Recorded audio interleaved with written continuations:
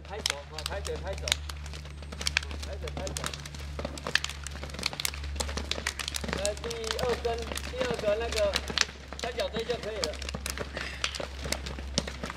这这左脚右脚连续的，左脚右脚，到什么样的境界呢？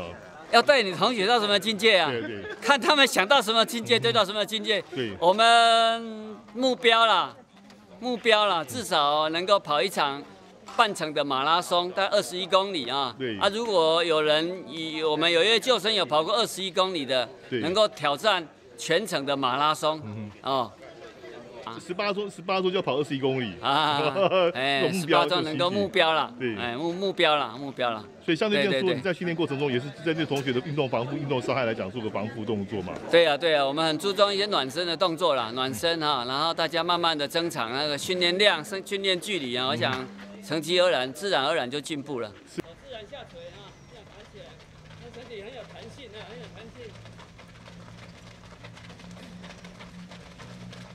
摆起来，手再摆，哎，像自然摆动，自然摆动，自然摆动。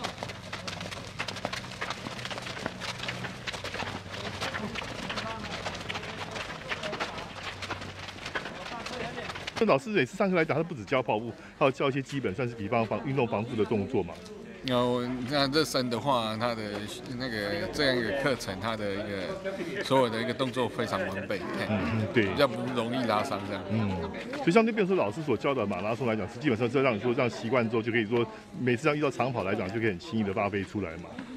嗯也对老师都有循序渐进的这样一个训练这样。开始了你走到三角队就开始啊小心中的小碎步啊